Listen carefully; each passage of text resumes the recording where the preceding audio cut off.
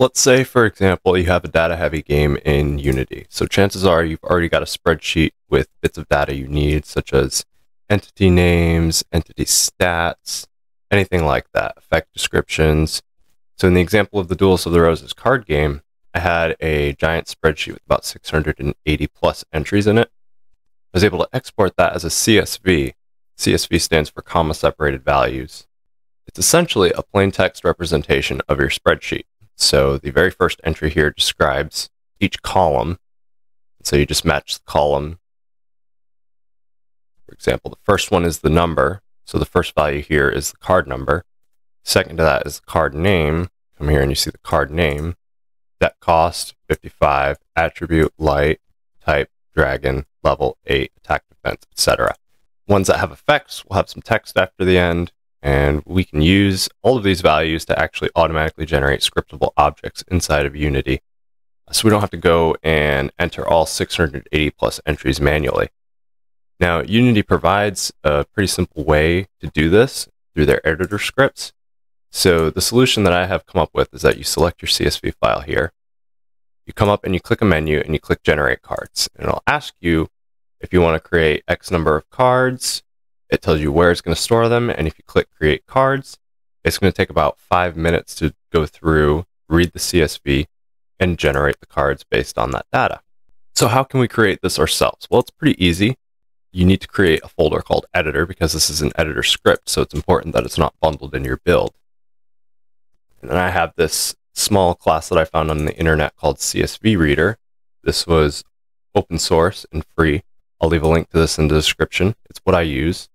It's pretty simple. As you can see, CSV is a pretty simple format. And essentially what it does is it parses a CSV as a list of dictionaries. So essentially what that means is that each row is going to be led, read in as a dictionary, and then you'll use that dictionary object to get the properties for each entry.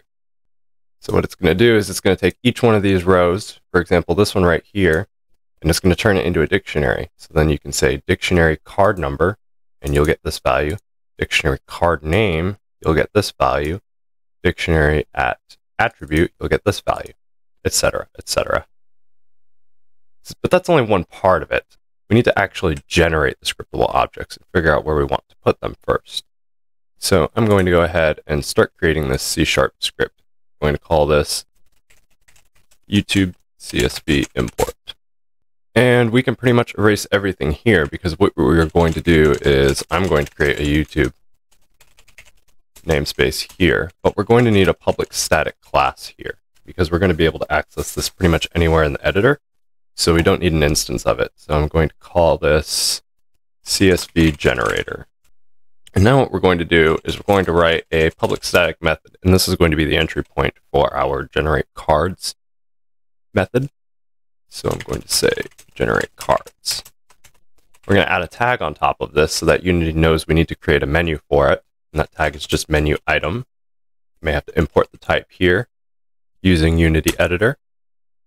And the parameter is the menu name. So I'm just going to say this is YouTube and when you put a slash, that's going to add a sub menu. So we'll see a YouTube menu and the actual option to start or executing this method is going to be uh, generate card data from CSV. Boom. So if I save this and come back to Unity, we should see a YouTube menu up here. And when we open our YouTube menu, we have a generate card data from CSV option here. Uh, that's just the start though. Now the first thing we want to do is actually check the object that we have selected like I said, the idea is that you will import your CSV as an asset, select it here, and then click this menu item to begin generating the card data. So in order to check the active object, um, there's actually an API for that. So we'll say if selection dot active object. So this will get whatever's selected in the editor right now. We want to first of all check if it's null. If it's null, we'll return because there's nothing we can do about that. All right, so I've created the small helper method to check if it's a CSV file. We're just checking to see if the path ends with .csv. It's a pretty simple way of checking, but you can always roll your own um, error correcting. Of course, uh, being as it's an editor script, it doesn't really matter that much since this will never be run in-game. So not much validation is required there.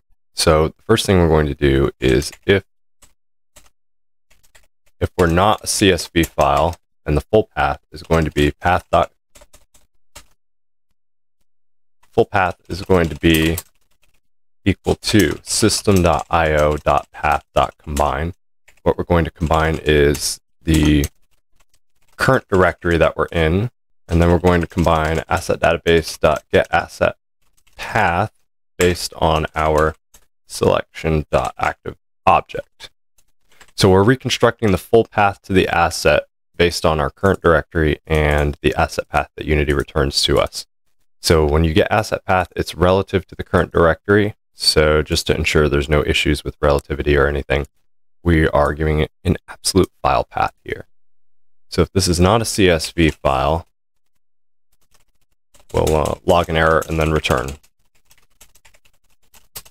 So now that we have confirmed that the selected object is a CSV file and not anything else, we're going to actually do the reading here. So I'm going to say we need a list of dictionary, and the dictionary is a string object pair like that. And this is our raw CSV data. And then we're going to call CSV reader, which is a static class in the namespace CSV reading, dot read and we're going to pass it the absolute path, which is what we have selected when we execute the script. So at this point, we've got all our CSV data raw inside of this, assuming that this read correctly. We're going to check and make sure that our count is greater than zero. Else, we'll log an error and return. How, okay, how can we logically iterate over this and generate our data? Well, you have to iterate over the list. And essentially, each entry in the list is a small object. And instead of being represented as an object where you type object.property, it's essentially going to be something like this. So it'll be our raw CSV data at any given index. And then you're going to give it another index. And this is actually the key that you want to read. And where you get that key is come to the example CSV, the key values are all the very first row up here. Like I said, all of these apply to each of these rows. Any of these data points are going to have any of these except for maybe the effect. So I should just be able to say at card, and this is how I will get the name of the card. And similarly, if I wanted to get the attack, I would do this. And this is all bound to the CSV data here. Exactly as you'd see it here, you'd get the key for that entry. So this would get the card name and the attack of the first entry in the data. Now, of course, these are all strings, and we'll convert those and parse those properly once we're generating our scriptable objects, but we're not quite there yet. So I'm going to go ahead and come over here and create another, another method here. I want to make sure that I pass this into this function. And this function is going to do the actual generation of the card, but we have to have confirmation first. Uh, but we'll write this small generation method first. So what we're going to do is we're going to iterate over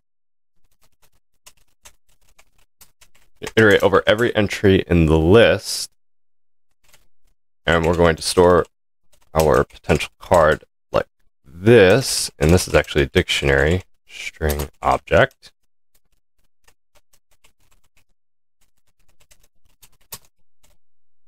and it's going to be at CSV data given the index.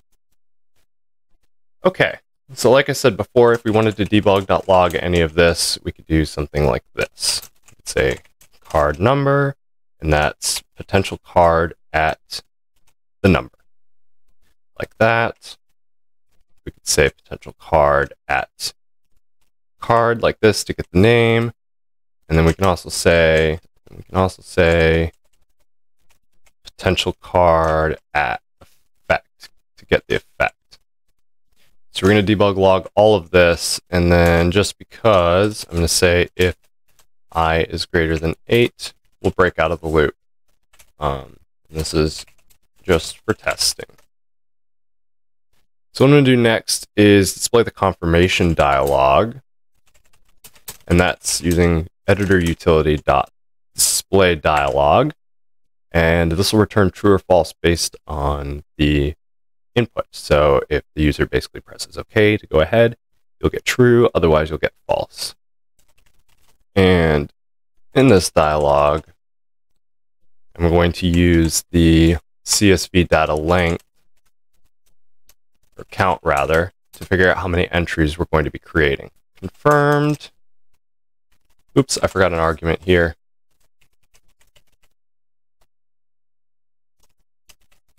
Yes and no.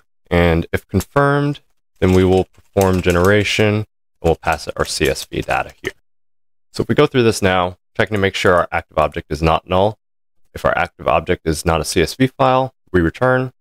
Otherwise, we read the data from the CSV. If we get enough data from the CSV, we display a confirmation dialog. And if we confirm, then we're going to go ahead and perform the generation in which we iterate over the data. And right now we're just debugging. So let's go ahead and come back here. We have our CSV selected. I'll clear the console here. We should see eight entries in our log. So if I go to YouTube, generate card data from CSV, says, are you sure you want to create 682 entries? Just to confirm, if we look at our CSV, scroll all the way down, the last or the last line is 683, the last entry is 682. The last line is 683 because of course first line is column definitions in a CSV. So I'm going to click yes, and we've got a couple debug information bits right here.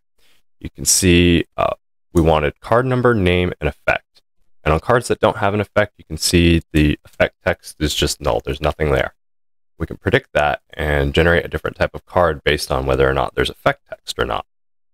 So you can see all the normal monsters don't have any kind of text with them, and all these effect monsters have a little bit of text after them.